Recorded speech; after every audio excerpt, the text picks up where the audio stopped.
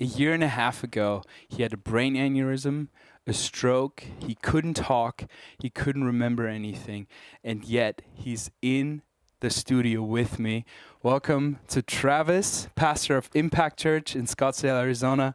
So good to have you here, man. Uh, it's so great to be here. What a great church and ministry, and uh, honor and a privilege to be here. Travis, uh, I love uh, the authority that you speak with, and your story is very unique, but it's crazy. Do you want to just take us into wh- what happened a year and a half ago? Yeah, uh, it, it really came out of nowhere. It, it was a it was a Monday. Well, if I rewind, Friday, we released our church released its first worship song into the world, um, called "He Is the Miracle." And actually, it was a collaboration with a worship leader in the states. His name is Joel, um, and uh, and Joel wrote a song "Promises" with Mav- Maverick City, and he crushed it. And mm. so we did this feature, and mm. so that was our first song, Impact Worship, ever mm. that we did. Mm-hmm. And then on Sunday, that song it climbed all the way to number one on the iTunes uh, music charts. So we were celebrating, and having a great time. So we're we're really riding on like this big high, you know, through the weekend. Then on Monday is when I had this brain aneurysm and, and hemorrhagic stroke. And so uh, it came out of nowhere. I didn't have any health conditions, any health issues. I wasn't on any medication. Um, came out of nowhere and it came fast and it came hard and, it, and it about took me out. I ended up being taken by ambulance to one hospital and then taken by helicopter to a second hospital.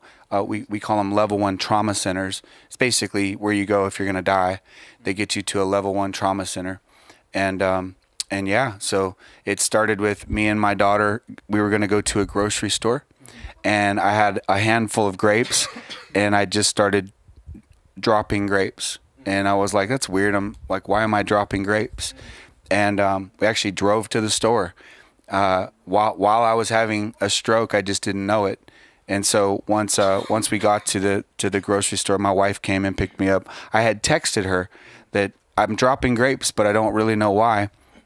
And um, and and so she panicked, like like you you need to you need to go to the hospital. And she came and picked me up and, and went to the hospital. And and so from the dropping grapes uh, moment until the being hospitalized was maybe maybe an hour total in time. Crazy.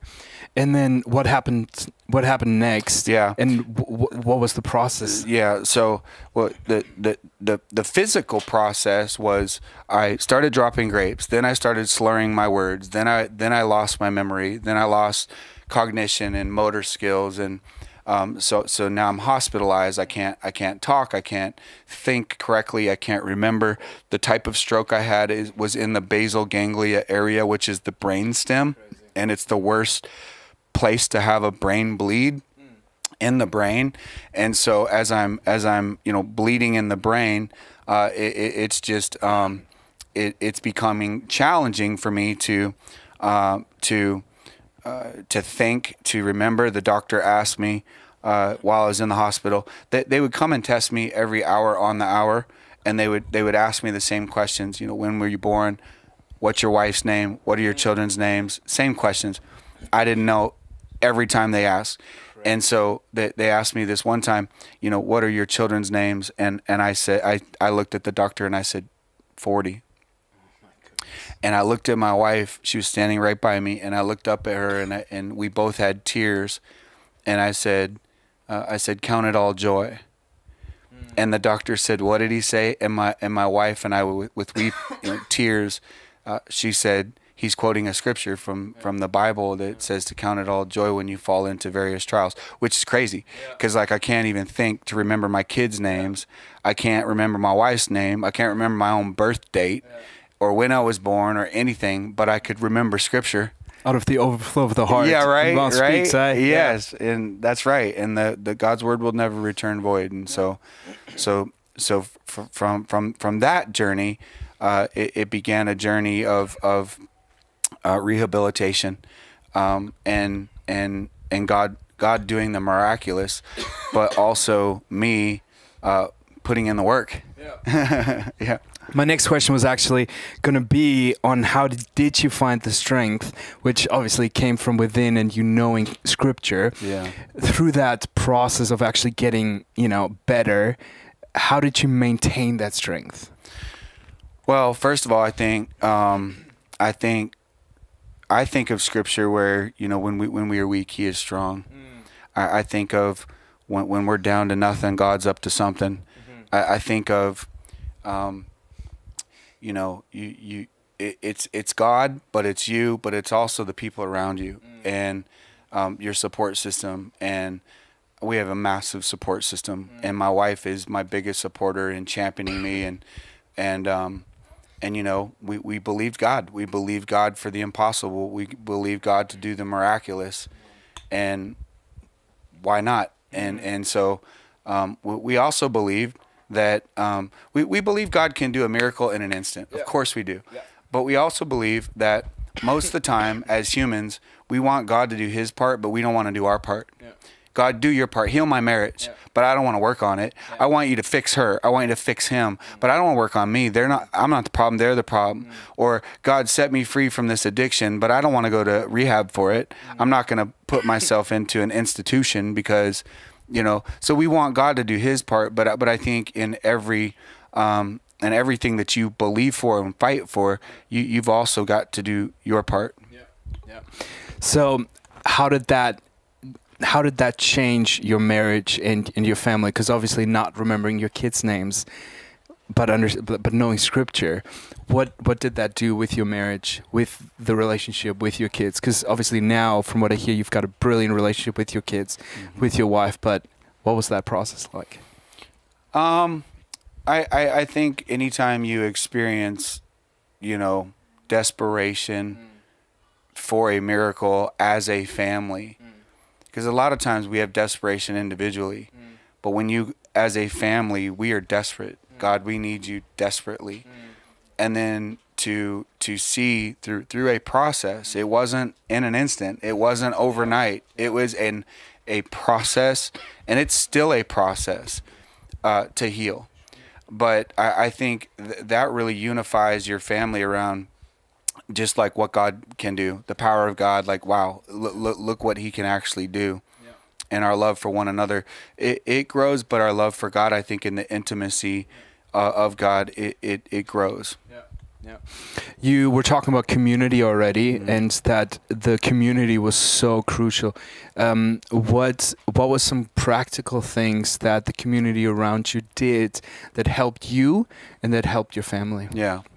Um, I, I think number one is is prayer. I mean, i- obviously, but not because because we know we should be praying, but oftentimes it's it's the last thing that we do.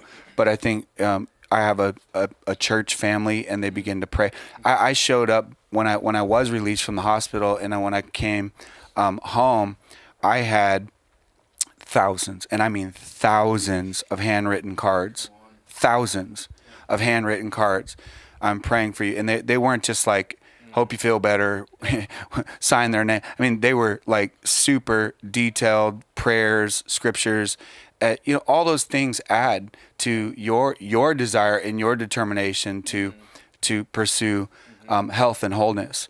And and so I think prayer. I think my family. I think my church family, our community. I think rehab. I was in six different. Um, I was doing six different therapies for six months, six days a week.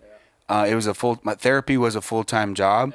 I was doing speech therapy because my, my my tongue is numb and my cheek is numb and my jaw half of it's numb, and so I'm having a hard time talking. And so my doctor found out that I was a preacher, and so then she had this idea that I, as part of my speech therapy, would come preach to her. You know, so I'm preaching to this doctor who's not not a Christian, but it's just me and her, and I'm preaching like I would preach on a Sunday.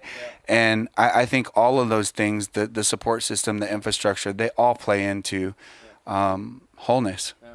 So, w- w- what's your condition right now? Is it fully healed? Are you fully back, or do you still have some some numbness? Or yeah, what's I'm- that? It's a good question. I'm I'm still numb. The whole right side of my body is still numb. So it's been about a year and a half since the stroke, November 14th of 2022.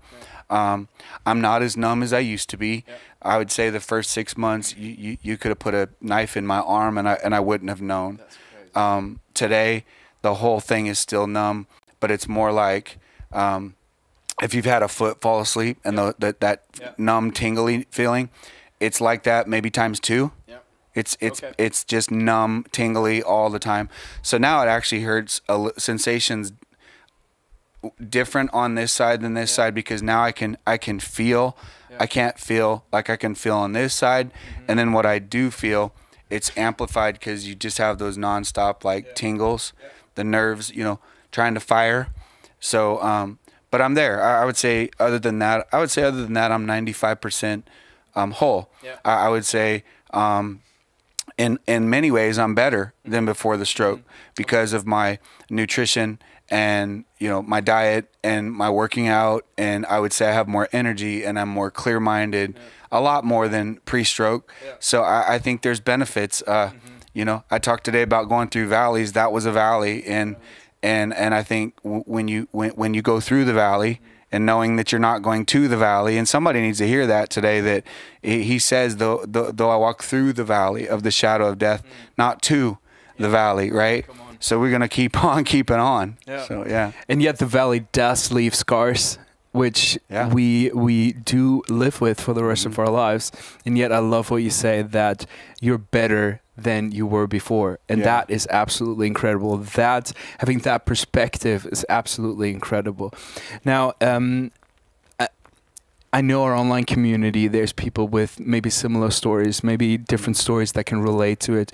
What would you, um, if, if there was one thing that you would say someone in your situations a year and a half ago, right now, what, what would that be? I, I I mean the first thing that comes to mind is one of the most quoted scriptures in the Bible and that's Proverbs chapter 3 and trust in the Lord with all your heart. Lean not on your own understanding. In all your ways acknowledge him and he will make your path straight. And and I think that that's it man. Trust in God. Don't trust don't don't listen to the voices. Don't listen to the news don't listen to what statistics say what studies say what even doctors say because doctors told my wife and I doc, when I couldn't talk the doctor told my wife this type of stroke it the the, the effects are irreversible. Mm-hmm. So when he mm-hmm. when I could not talk he's telling my wife he'll never talk.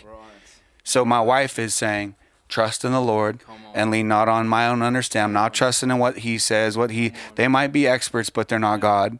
They might be experts, but they're not God. God has the final word. Yeah. Yeah. So good, Travis. Thank you so much. I know we could talk for hours, uh, I reckon, on this, but really, like your story is incredible, and honestly, that you always bring it back to God and say, trust in Him and not on your own understanding. That is absolutely incredible. Thank you so much for sharing this. I really, really appreciate it. Hey, I don't know where you're at um, with your walk with God, but we would love to just help you in this walk as well. So if you need anything that um, where we can help you with, if you want to get connected, uh, Travis talked about community. We would love to help you to get connected to the body of Christ. Hey, just let us know. Um, and you can write us on icf.ch slash connect. And we um, are really looking forward to hearing from you. Travis, thank you so much for this talk. I really appreciate it. That was it for today.